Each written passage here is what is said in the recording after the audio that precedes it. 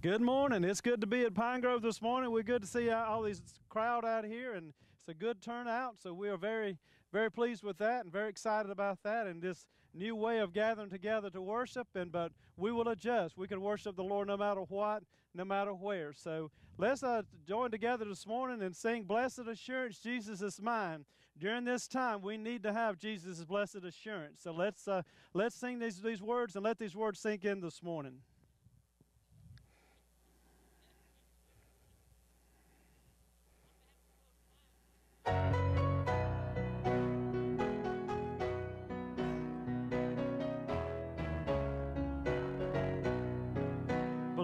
Blessed assurance, Jesus is mine. Oh, what a foretaste of glory divine, heir of salvation, purchase of God, born of His Spirit, washed in His blood. This is my story, this is my song, praising my Savior all the day long.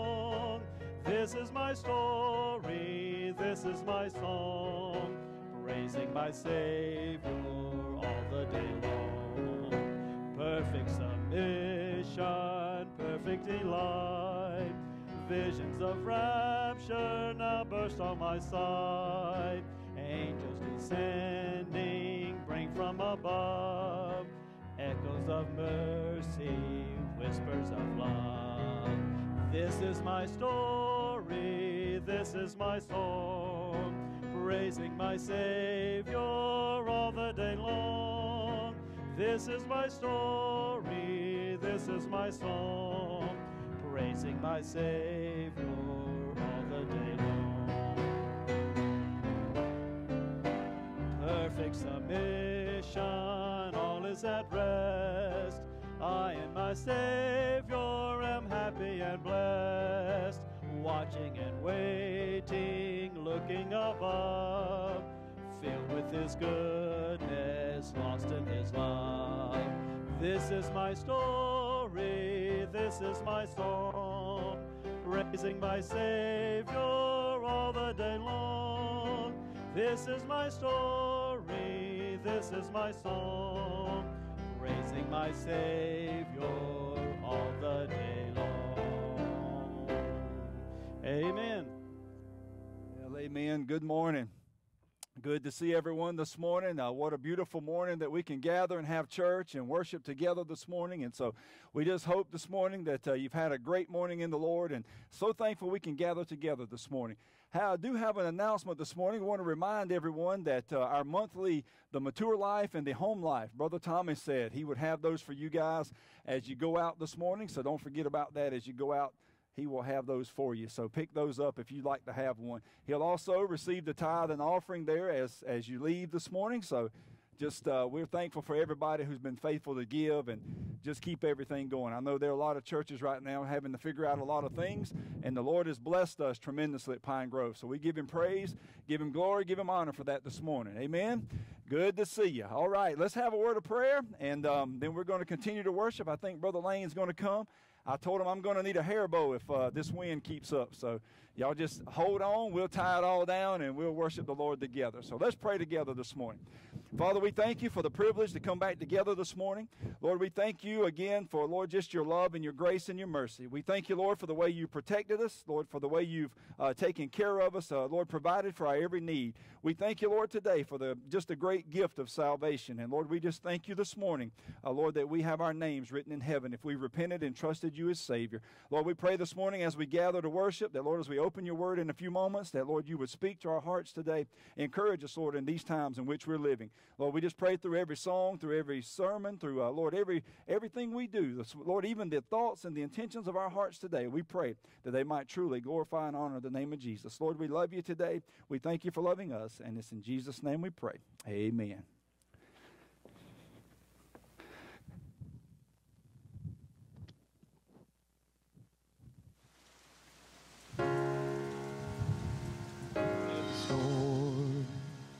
Remain in control, and in the middle of the war, you guard my soul. You alone are the anchor when my sails are torn. Cause your love surrounds me in the eye of the storm. When the solid, when the solid ground is falling out from underneath my feet, between the black skies and my red eyes, I can barely see. And when I realize I've been sold out by my friends and my family, I can feel that rain reminding me that in the eye of the storm, will you remain in control? And in the middle of the war, you guard my soul? You alone are the anchor when my sails are torn. Cause your love surrounds me in the eye of the storm. When my hopes and dreams are far from me and I'm running out of faith, I see the future I picture, it slowly fades away. And when the tears of pain and heartache are pouring down my face, well, I find my peace in Jesus' name. In the eye of the storm, you remain in control, and in the middle of the war, well, you guard my soul, and you alone are the anchor when the sails are torn. Cause your love surrounds me in the eye of the storm.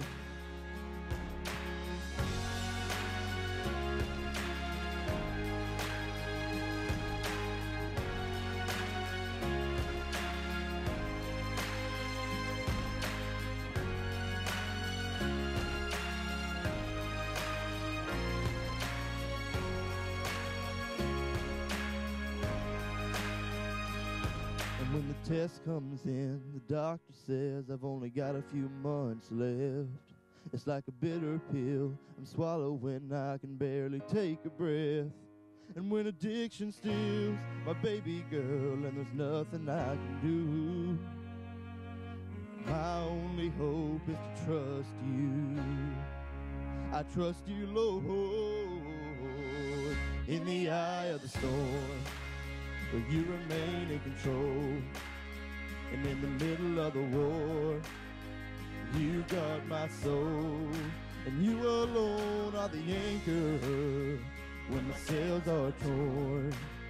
Cause your love surrounds me in the eye of the storm. You remain in control. And in the middle of the war, you guard my soul. You alone are the anchor when my sails are torn. Your love surrounds me in the eye of the storm. In the eye of the storm. In the eye of the storm. I know you're watching me, yeah.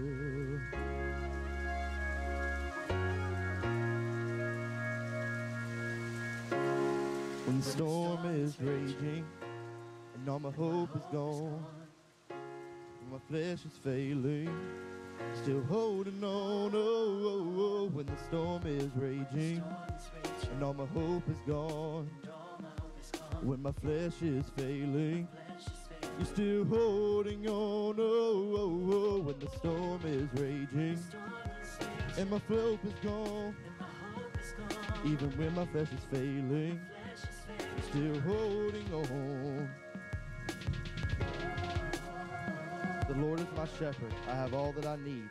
He lets me rest in green meadows. He leads me beside peaceful streams. He renews my strength. He guides me along right paths, bringing honor to his name. Even when I walk through the darkest valley, I will not be afraid, for you are close beside me.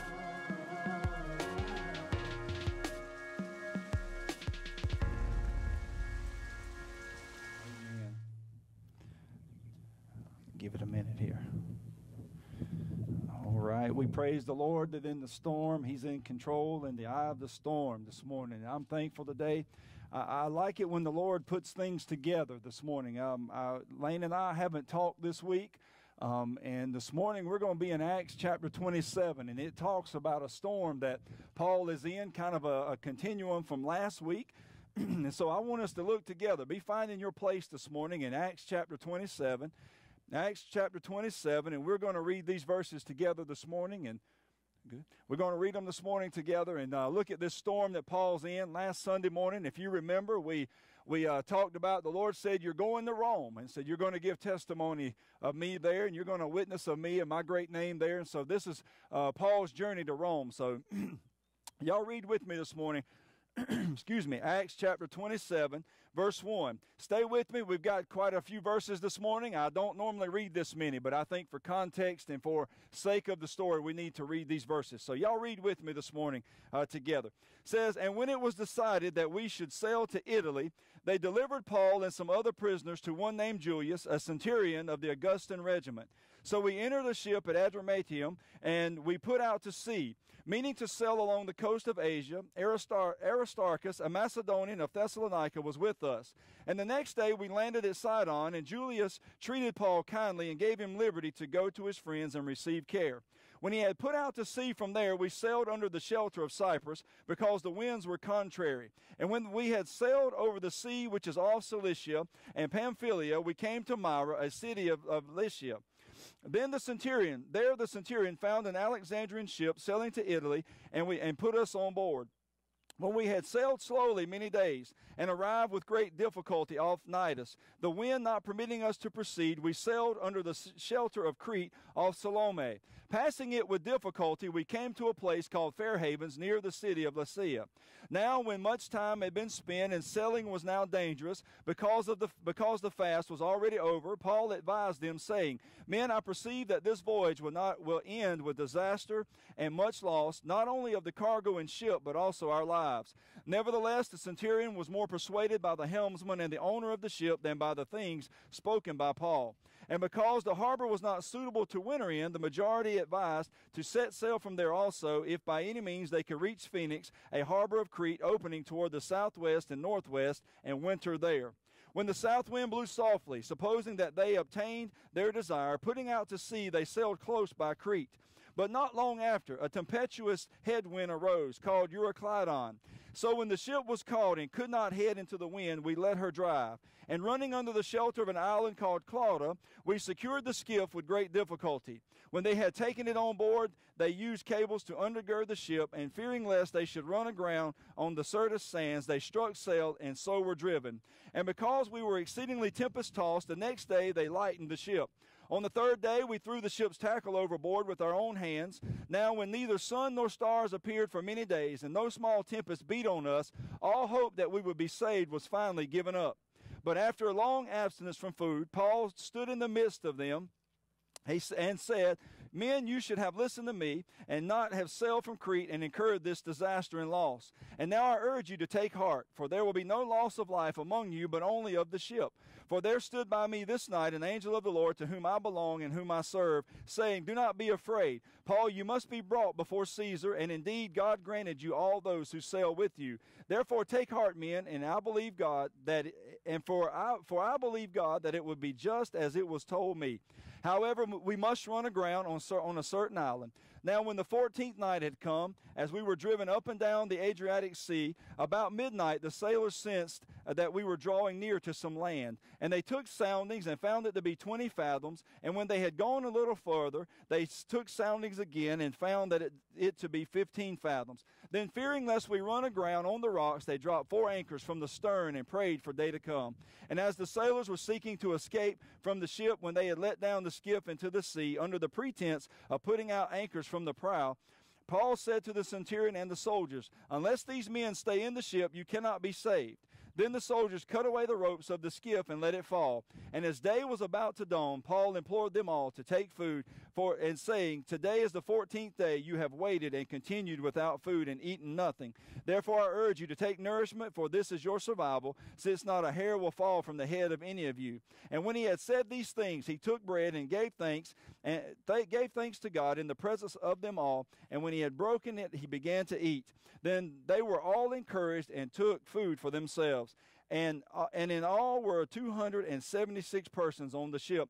So when they had eaten enough, they lightened the ship and threw out the wheat into the sea. When it was day, they did not recognize the land, but they observed a bay with a beach, onto which they planned to run the ship if possible. And they let go of the anchors and left them in the sea. Meanwhile, loosing the rudder ropes, they hoisted the mainsail to the wind and made for shore.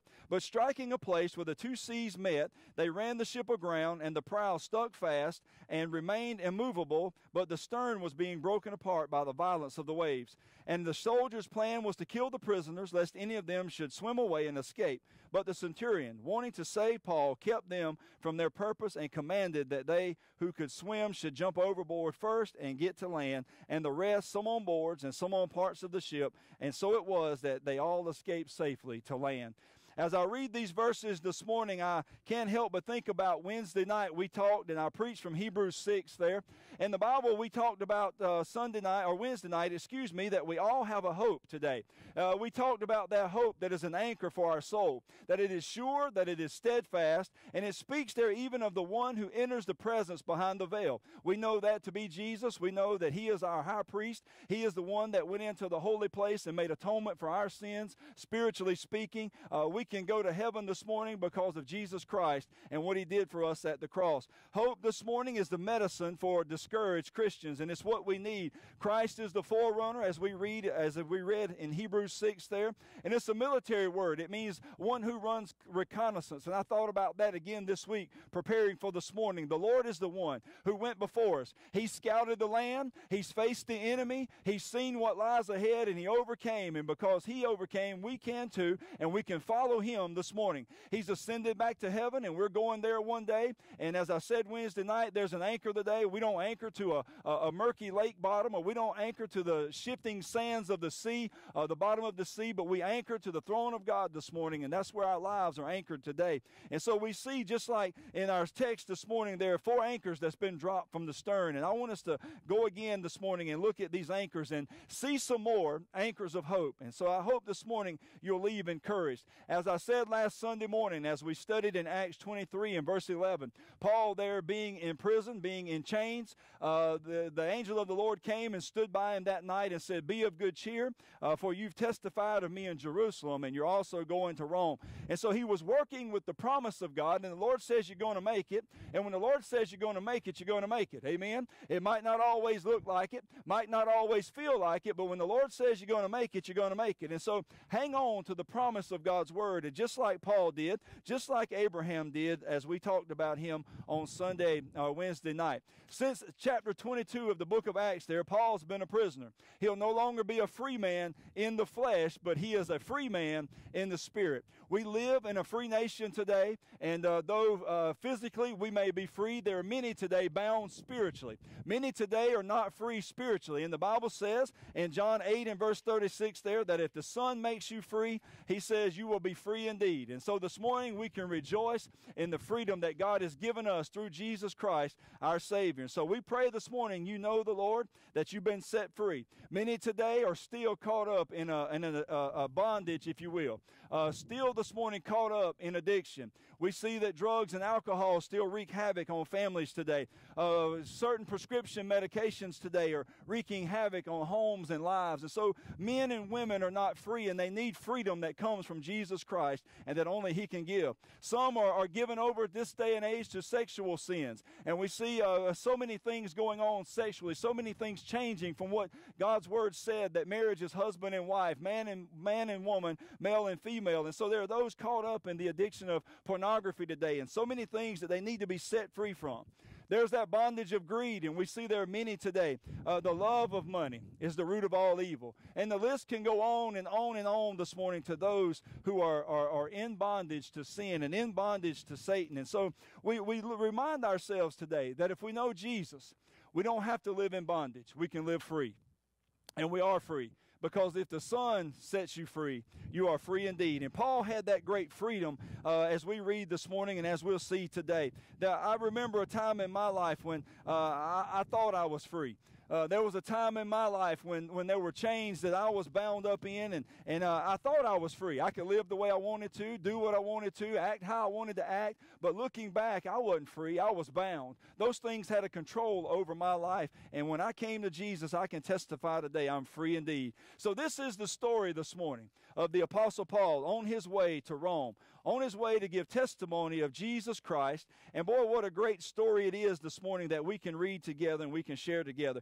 One of the great proofs, if you need it, that the Bible is true one of the great scriptures that testify the truth and the authenticity of the Word of God is right here in this passage. Uh, as you read these texts this morning and as you study this, there are so many things today that we can look and we can find historically. This is the way uh, seamanship worked in those days. Uh, it's an exact uh, replica of what they would do in this time and this age.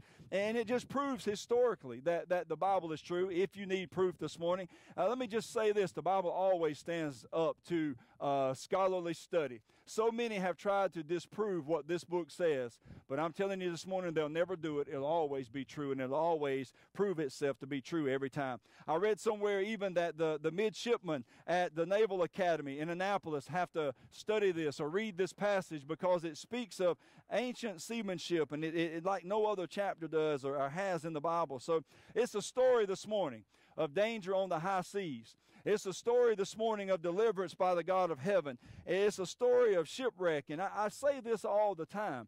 If you're looking for a good romance novel, read your Bible. If you're looking for action and drama, read your Bible. If you're looking for excitement, read your Bible. We say, well, in these days, it's kind of boring. Listen, get your Bible out. This is one of the greatest stories, one of the greatest chapters in the scriptures this morning, and I'm excited that we can study it together today. There are so many storms in the Bible. Uh, we read about Jonah getting caught up, and tossed overboard. The great fish came by and ate him. And uh, of course, he puked him up that he could go and eventually do what God had called him to do. There were the disciples who were caught on a, a storm out in the, on the lake there, and the Lord was with them. And, and even sometimes storms arise with Jesus with us. And so we trust him. They don't scare him. Uh, he's in complete control of them. And so I see these storms, and I've been watching the news these last few weeks, and, and it, it when WIS says tornado, my anxiety levels raise. My blood pressure goes up. I've been in some tornadoes. I don't like them. If the Lord would deliver me from everyone until the day I go to heaven, that will be fine with me. I don't like them. And so in the storms, uh, many times there's anxiety and there's a helplessness that comes over our life. Sometimes the storms in our life are our own making. Sometimes we, we, we shoot ourselves in the foot, so to speak uh, we'll do something like Jonah and get outside the will of God or, or, or not go where God may tell us to go. And so there's so many things that in the storms of life we can kind of hurt our own self with these storms. And sometimes these storms come by divine providence that God allows them. And He allows them to come into our life so that we might be strengthened in our faith, that we might grow in our character, that we might grow closer to Him. We say these seafaring terms all the time the anchor holds, and it does. We say so many times that we, that that that was smooth sailing, and it is so many times for us. We'll say, well, it's sink or swim time. And that's kind of where Paul's at this morning as we study these verses. I tell you, I think about in our own lives today. Uh, we were supposed to go on a cruise back in, in April there. And uh, as we were getting ready to go, all this broke out. And so we didn't get to go and we didn't get to uh, uh take, take that, that vacation and, and go out on the high seas there, if you will. I, I thought about uh, in our lives. There were many ports of call that we were going to make. We were going to stop here. We'd be at sea for a day, and we'd, we'd port here. I thought about this morning, what is your port of call? There's only two this morning. Only two, heaven or hell. And so this morning, if you can say it this way on this voyage, on this life we're traveling, there are only two ports that we can make. You can make heaven because of Jesus, or you can make hell because you reject Jesus. Don't reject Jesus Christ as Lord and Savior. You don't want to do that this morning. 1 Timothy chapter 1 and verse 19 there says this Cling to your faith in Christ and keep your conscience clear. For some people have deliberately violated their consciences. As a result, their faith has been shipwrecked. I can tell you in my years of ministry, in my own life, there have been times that, that I've seen folks that have been shipwrecked in their faith because they got too close to the rocks and to the ledge and they didn't anchor their lives completely in the Lord. 2 Timothy chapter 4 and verse 6 says, For I am being poured out as a drink offering and the time of my departure is at hand. Paul said, The time is coming. We're going to hoist the anchor. We're going to sail into the port of glory. Church, what a day that's going to be when the Lord comes for us and we can raise anchor here and we can sail in the glory on the hope and the promise of God's word today. We sing these songs Jesus, Savior, pilot me over life's tempestuous sea. We sing one of my favorites so many times Keep me safe till the storm passes by. And so this morning, this voyage that Paul is on, we discover there are winds, there's anchors, there's some boards they're clinging to, and we can't help but see the storm. And as the writer writes there, if you look with me in verse 4, he says the winds were contrary. Kind of like they are this morning, but, but worse, right? Uh, he says in verse 7, they arrived with great difficulty. If you look in verse 13 and 14, said, The south wind blew softly, but not long after, a tempestuous headwind arose, a nor'easter there. The wind came from the north and from the east. And if you've ever been on the cruise and, or a cruise and you've walked out on the bow of the ship, you know what that headwind is like. You know that wind, you almost have to lean forward to walk into the wind that's coming your way as you get out on the open sea. And so Paul said there's a, a headwind that arose. And he said we were driven up and down all around. They didn't know where they were going, they just knew the wind was carrying them. And, and it's really by divine providence, providence. Even when we don't always understand, God works out his plan. Even when we don't in our life always uh, can raise the sail and point the, the bow of our ship, spiritually speaking, in the direction we want to go, God still has a wind that can blow that leads and guides and directs our lives, as we'll see in a few moments today, in just a few moments today. Uh, soft winds, he says they blew. Uh, so many times there are delightful winds in our life, aren't they? Just a soft wind that blows, God leading, directing our lives. So many times uh, the ship's not threatened, it might be rocked a little bit. But so many times there is that, that tempestuous wind that, that blows in our lives. It's been said, and I'll remind you again this morning you're either in a storm, you're coming out of a storm, or you're about to go into a storm. It's always true. It's always true. We trust the Lord even in the storms of our life today. There's been some statements made by some political leaders of our nation in these days. Uh, some this week that, that have been made, some last week that were made. And folks, listen, there, there's always a headwind blowing against the gospel, blowing against Christianity. There's always, since the day of the early church, the infancy of the early church, since the day the Lord Jesus walked the earth, there's always been a headwind. There's always been resistance. But we, we march forward and we trust Him in it and we proclaim the gospel and we live it with every fiber of our being and we tell folks no matter what uh, they believe, no matter how they feel, that Jesus is alive, that He is our Savior, that we're headed to heaven and they can go with us if they'll trust Him. God will, just doesn't want us today to go through a storm, but He wants us to grow through it. And if you're going through something today, and I'm sure many of you in, in, a, in a group this size, you're going through something, God doesn't just want to see you struggle. He doesn't just want to see you hurt or be discouraged. He wants you to grow through it. And as we go through it, we grow through it. I thought about the Lord there on the ship. Uh, he woke up and he spoke up and he stoked up their faith. And that's what he wants to do for us in these days and this time today. So we praise the Lord for this great, great truth that we have in the Word of God this morning. Look with me again at verse 10 and 11. Paul says, Men, I perceive this voyage is going to end with disaster. He said the ship, the cargo, he says, but also the lives. Then in verse 11, the centurion, persuaded by the helmsman and the, and the owner, he says, more than what Paul has spoken, they set sail. And so we see here in the storm, they're going through it, but God wants them to grow through it. Look at verse 21 with me just for a moment. But after long absences, Paul stood in the midst of them and said, Men, you should have listened. And we shouldn't have sailed from Crete and incurred this disaster and this loss. Look at verse 30. Some of the sailors seeking to escape said, When they let down the skiff under pretense of putting out anchors from the prow, Paul said to the centurion and soldiers, Unless these men stay in the ship, you cannot be saved. We see they're going in the storm, but they're growing through it. At one point, Paul said all lives are going to be lost. But if you look with me again, as we read there in verse 24, he says, The Lord has granted all who sail with you.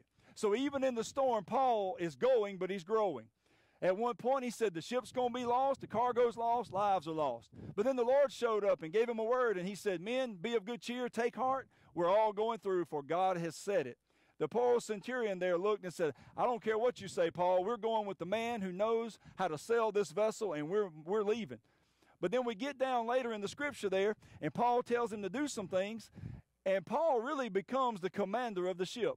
God has given him divine uh, overseers of this ship, and they're listening to him. They're growing, if you will, through the storm because they're trusting what God is doing through this man, Paul, and God has given him a great word there.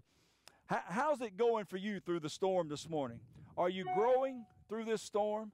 I believe God wants us today to grow through the storms that we're in. What is the Lord speaking to your heart? How is He strengthening your faith? In 2 Corinthians chapter 11 and verse 25 there, Paul had already been shipwrecked three times. Three times. And he doesn't want to be again, although he will be. And I think about this story this morning that Paul leading these folks, and as the Bible says there, as they go through this storm, that the weight of the cargo there is weighing it down. And look with me in verse 18 again. It said they lightened the ship. Look at verse 19. It says, On the third day, three days later, we threw out the ship's tackle overboard with our own hands. Uh, in the storm of life and in our lives this morning, God brings us to a place, and He's brought me to a place so many times that we got to lighten the load. Amen. We find out what is truly a necessity in our life in the storms. We find out what we need and what we don't need. And I can tell you, I found out some things that I don't need during the storm that we're in. I found some things that I do need. I need my faith in my Savior. Amen. I, I, need my strength that comes from Him. I need His peace that passes all understanding. Listen, if ever a time I realized I need my church family, it's now. I tell you, we miss our church family and we miss each other, and we can't wait for the time that we can get back together. And so it says they lighten the load. They literally started throwing things overboard so that the ship would not sink, so they could endure the storm and move forward there, uh, going on this journey to Rome. And so I see this morning in our lives, God may be asking us that we might be under great duress and stress at sea this morning in this voyage we're on. Maybe this morning we need to lighten our load. Maybe this morning we need to get rid of some things. And maybe this morning there's some things we still need to confess and trust the Lord with. It's a time of getting rid of sin. It's a time that sin weighs us down and shackles us. And it's a time we repent and turn to the Lord. We always read Second Chronicles 7.14. And we could all probably this morning uh, quote that by, by heart. But the verse we don't always read is verse 13 right above that. You know, verse 14 if my people who are called by my name will humble themselves and pray and seek my face and turn from their wicked ways, then I'll hear from heaven and forgive their sin and heal their land. Listen to verse 13. When I shut up heaven and there is no rain, or command the locust to devour the land, or send pestilence among my people.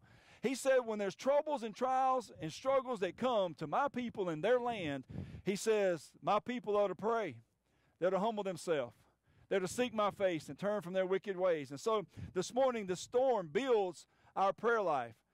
It builds our praise life. Y'all read with me a few moments ago. Paul broke bread and he gave thanks to God. In the middle of the storm, hear me this morning, you can still praise the God of heaven. There's still good things today we can see and we can praise Him for. And it, it strengthens our personal relationship with the Lord. So Paul tells them to do some things. And, and look with me in verse 16 there. It says, And running under the shelter of an island called Clauda, we secured the skiff with great difficulty. When they had taken it on board, meaning the, the lifeboat there that they often towed behind, they took it on board. They used cables to undergird the ship, lest fearing they should run aground on the Syrtis sands, they, they struck sail, and so they were driven. So they brace up, they pull in the skiff, they brace up, if you will, the ship there. And then we read over in the other verses, they drop four anchors later in the story. I thought about that this morning. they they brace up the ship. Why? Because they know the storm is going to be brutal. They know the storm is going to be tough, and so they're bracing up the ship, and they take in the skiff, and they use those cables to undergird it. Let me put it this way like a big old belt for the belly of the ship, all right? They, they, they tighten it up, they firm it up, they secure it up. And I thought about in our lives today, we brace up our lives. First Peter says, Wherefore gird up the loins of your mind. It's time to tighten up some thinking, amen? To get our sight, our sights and our thoughts on the Lord Jesus and keep them there and turn to Him and allow Him to, to, to do great things in our lives. It means that we get rid of loose, sloppy thinking. Ephesians 6 and verse 14 stand therefore How do we stand in a time like this? He says, having girded your waist with truth. That belt there of truth that we read about with the armor of God, it, it, it's the center, supposedly, uh, supposed to be, I should say. It's the center of the garment. And he says, put on that belt. That's the center. What is the belt? It's the belt of truth. And we put on and have our lives today and everything about us uh, compassed and circled, closed up with truth, the Word of God this morning. And I'm thankful that God's given us His Word today. We center on truth. What does the Bible say? It's truth. How do we live? It's truth. How do we go forward? It's truth, the Word of God. Paul says in Philippians 4 and verse 8, some of my favorite verses that, that I truly need to practice more. I think we all could. Finally, brothers and sisters, whatever is true, whatever is noble, whatever is right, whatever is pure, whatever is lovely, whatever is admirable or of, of a good report, if it is any excellent or praiseworthy, think, meditate on these things. Paul says there, listen, they girded up the ship, they tightened up the ship, they, they secured the ship. And in our lives today, we gird up the loins of our minds. We put on the belt of truth. We draw it tight, if you will. We think on the things that are good, the things that are right, the things that are holy, of a good report. God's allowing, I believe, our lives to be braced up. I believe He's allowing our homes to be braced up during this time. I really do. I see a lot of homes and a lot of families uh, tightening up. Can I say it that way? I see a lot of homes and a, a lot of families there, a lot of marriages uh, tightening up. And if there's ever a time that we need to brace up and tighten up our homes, our marriages, um, it's this day and this time. I know some husbands and wives, you probably think, preacher, we're about ready to take each other out. Amen. These kids are getting on our nerves. We getting on each other's nerves. Listen, God has allowed this. Brace it up. Lean on one another. Just enjoy the time that you have and know that it's a gift from God, even though we can't do everything we want to do this morning. I think that the Lord this morning is, is allowing us to brace up the church. I, I really believe that the church will be stronger through this. I believe we really, if there's ever a time I know in my own life that, that I can truly say that, that I really miss and need the church, well, I tell you, we miss it, don't we? And can't wait for the time that we can get back together. I, I think it's going to help us realize that there are many ways that we can reach a world that needs the gospel. There are so many avenues just this morning by social media and by using our YouTube channel and streaming and, and all kinds of ways that we're using uh, just technology to get the gospel out.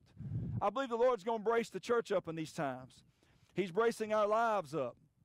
The Bible says that we ought to be strengthened in the inner man, and God's doing a great work that we might come to the fullness of our Savior today. I don't think that what we're going through is just for us.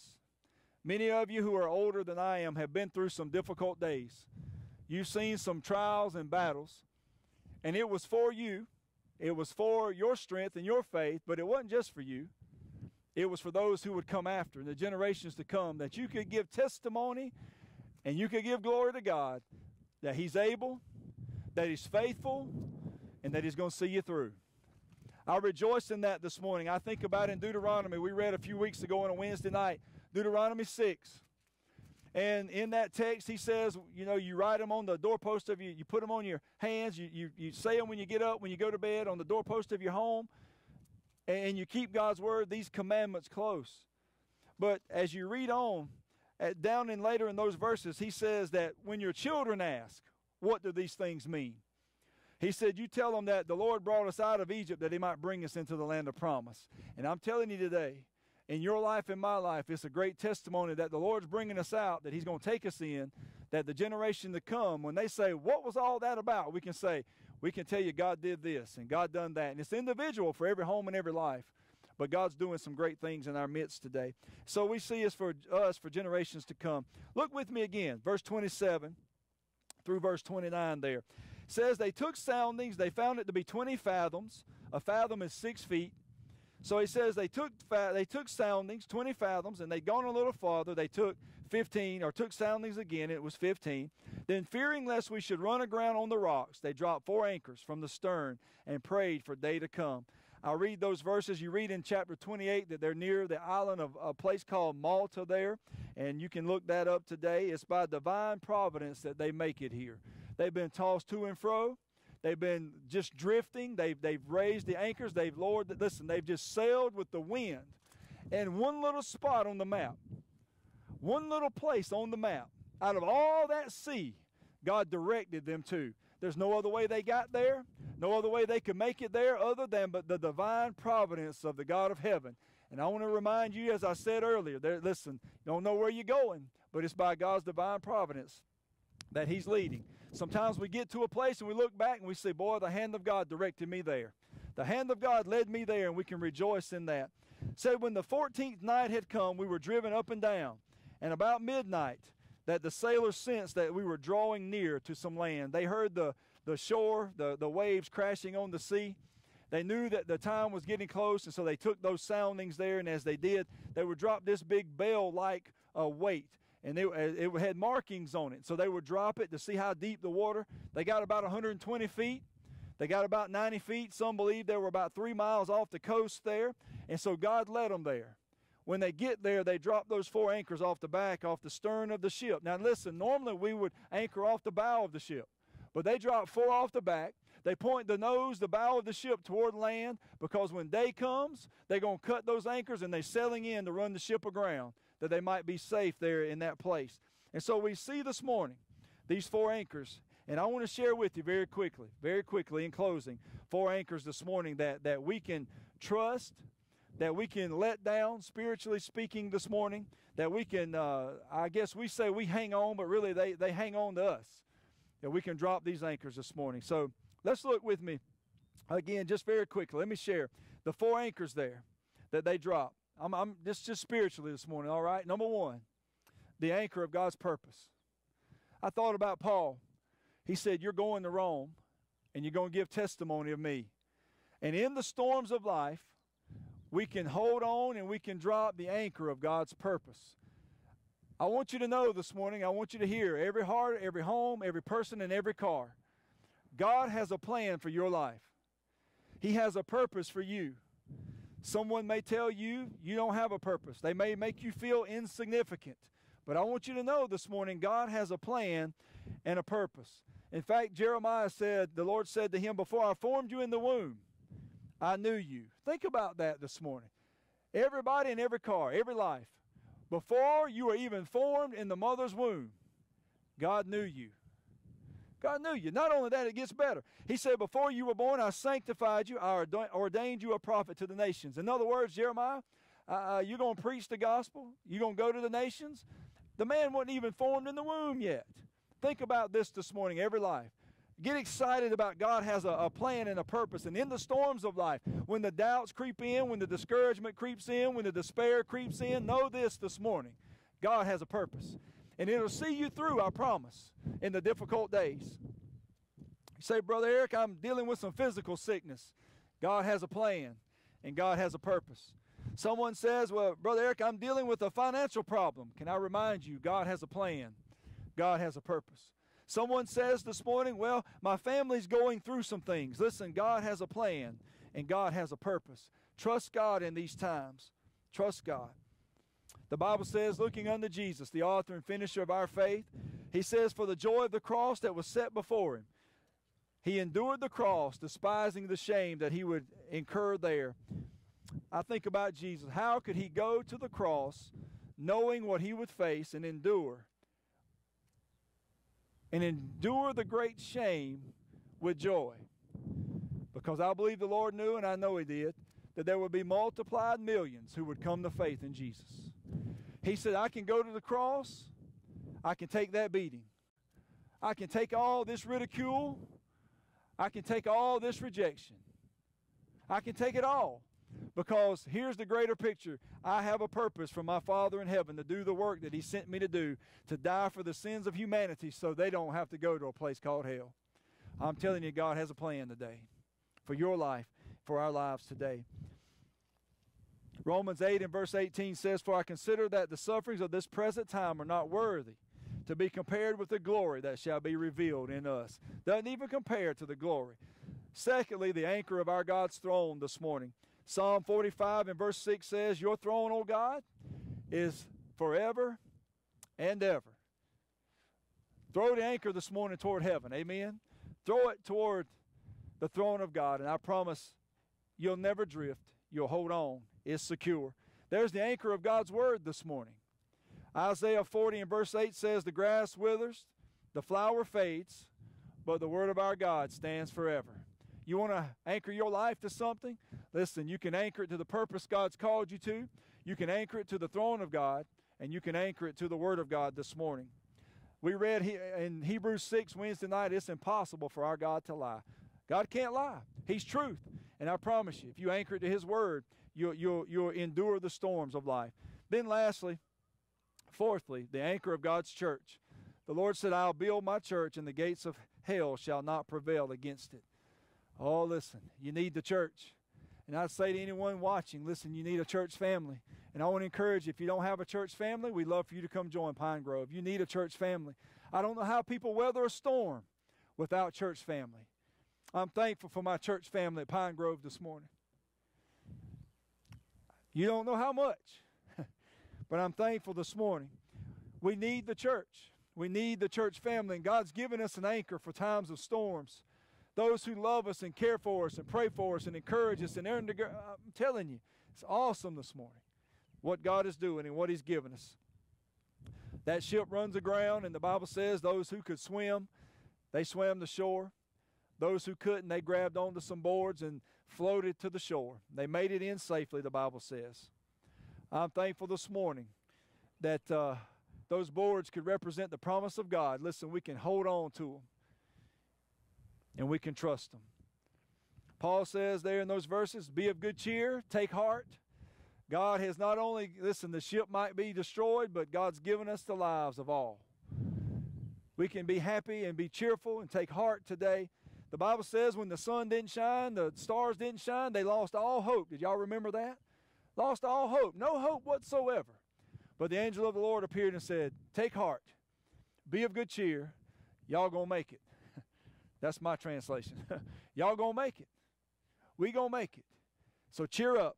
Praise the Lord. Even the worst thing today for the believer, the worst thing today that I can think of that could happen in our minds, physically, humanly speaking, is death. But yet the Bible declares in 1 Corinthians 15, says, O death, where is your sting? O grave, where is your victory? But thanks be to our God who gives us the victory through our Lord Jesus Christ. The very worst thing that we can think of, fleshly speaking, is death. And the Bible says we don't even have to fear that because Jesus has overcome that. So we can even be cheerful knowing that at death we're ushered into his presence. Praise the Lord this morning. There's no storm too great for the anchor of heaven, our Lord and Savior, Jesus Christ. I pray you know him today. If you don't know Jesus, oh, I'll give your life to him. Don't wait, don't put it off, do it today. Listen, this is simple as saying, Lord, I'm a sinner.